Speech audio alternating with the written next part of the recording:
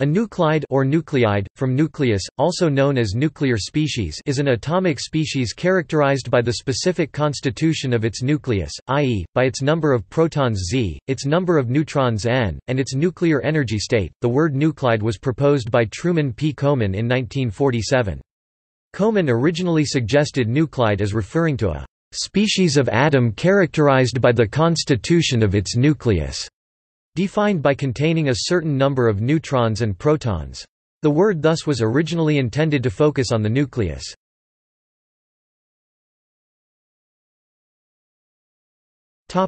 Nuclides versus isotopes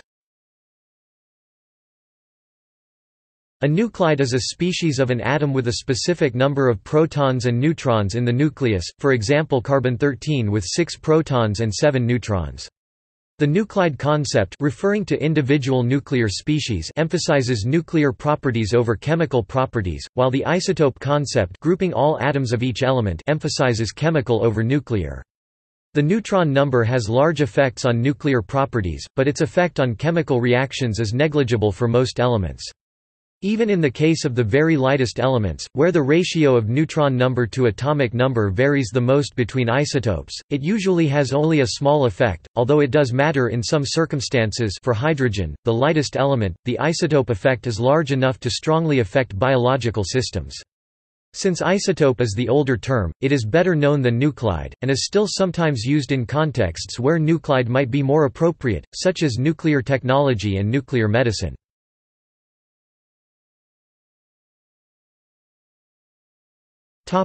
Types of nuclides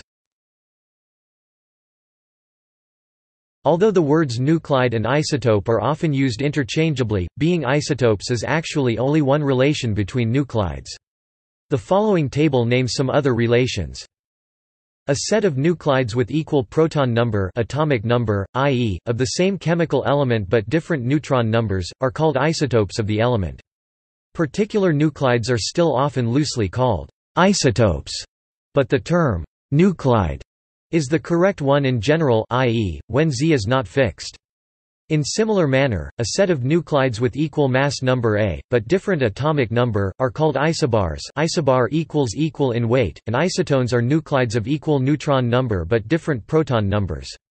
The name isotone has been derived from the name isotope to emphasize that in the first group of nuclides it is the number of neutrons n that is constant, whereas in the second the number of protons p. See isotope hashtag notation for an explanation of the notation used for different nuclide or isotope types. Nuclear isomers are members of a set of nuclides with equal proton number and equal mass number thus making them by definition the same isotope, but different states of excitation. An example is the two states of the single isotope 9943 Tc shown among the decay schemes. Each of these two states technetium-99 meters and technetium-99 qualifies as a different nuclide, illustrating one way that nuclides may differ from isotopes an isotope may consist of several different nuclides of different excitation states.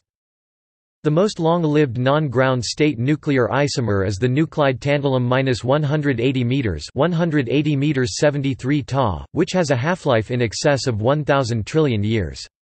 This nuclide occurs primordially, and has never been observed to decay to the ground state. In contrast, the ground state nuclide tantalum-180 does not occur primordially, since it decays with a half-life of only 8 hours to 180 HF 86% or 180 W 14%.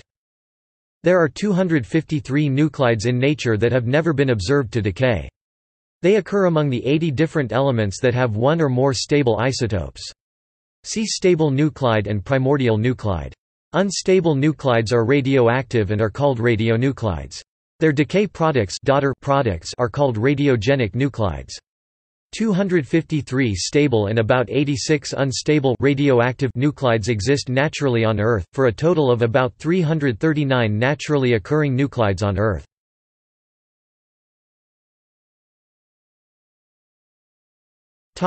Origins of naturally occurring radionuclides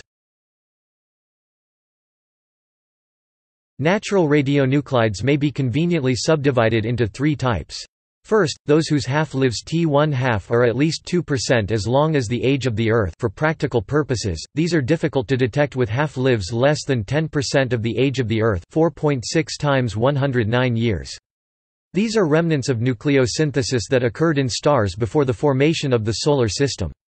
For example, the isotope 238U T1 half.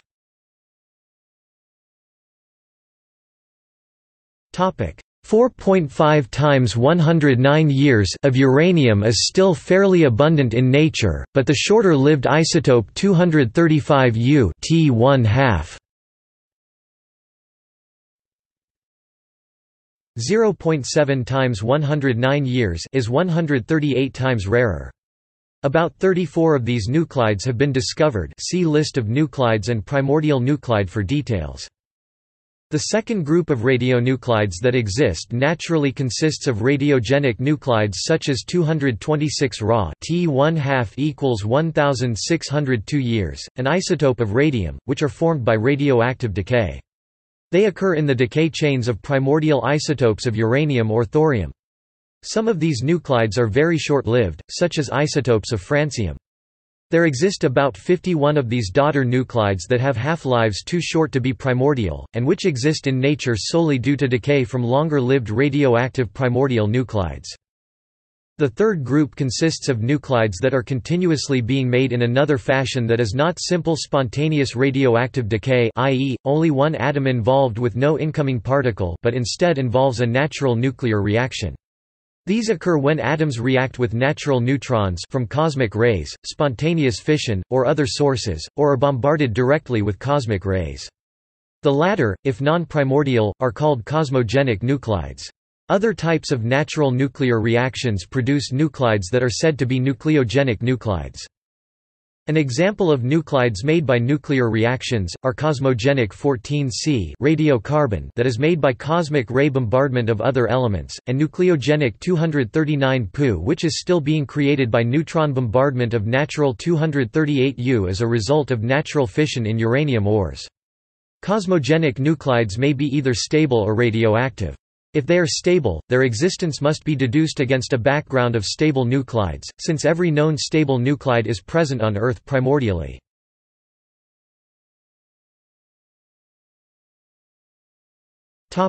Artificially produced nuclides Beyond the 339 naturally occurring nuclides, more than 3,000 radionuclides of varying half-lives have been artificially produced and characterized. The known nuclides are shown in the chart of nuclides. A list of primordial nuclides is given sorted by element, at list of elements by stability of isotopes. A list of nuclides is also available, sorted by half-life, for the 905 nuclides with half-lives longer than one hour.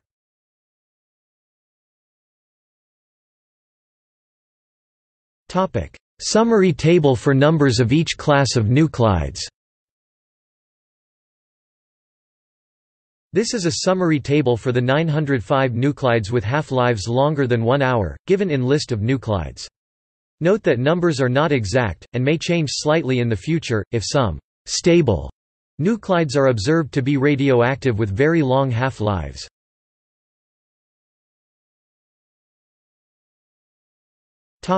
Nuclear properties and stability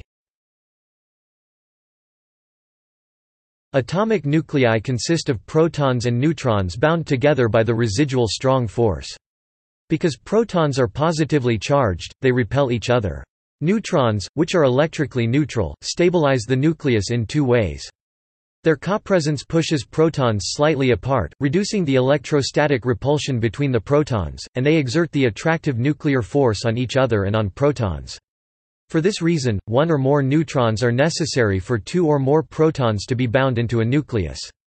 As the number of protons increases, so does the ratio of neutrons to protons necessary to ensure a stable nucleus see graph at right. For example, although the neutron-proton ratio of 32 He is 1 to 2, the neutron-proton ratio of 23892 U is greater than 3 to 2. A number of lighter elements have stable nuclides with the ratio 1 to 1 Z equals n. The nuclide 4020 Ca calcium 40 is observationally the heaviest stable nuclide with the same number of neutrons and protons. Theoretically, the heaviest stable one is sulfur 32. All stable nuclides heavier than calcium 40 contain more neutrons than protons. equals Topic: Even and odd nucleon numbers. Equals The proton-neutron ratio is not the only factor affecting nuclear stability. It depends also on evenness or oddness of its atomic number Z, neutron number n and, consequently, of their sum. The mass number A oddness of both Z and n tends to lower the nuclear binding energy, making odd nuclei, generally, less stable. This remarkable difference of nuclear binding energy between neighboring nuclei, especially of odd A isobars, has important consequences. Unstable isotopes with a nonoptimal number of neutrons or protons decay by beta decay, including positron decay, electron capture or other exotic means, such as spontaneous fission and cluster decay. The majority of stable nuclides are even proton even neutron, where all numbers Z, N, and A are even. The odd A-stable nuclides are divided roughly evenly into odd proton even neutron, and even proton odd neutron nuclides. Odd proton odd neutron nuclides and nuclei are the least common.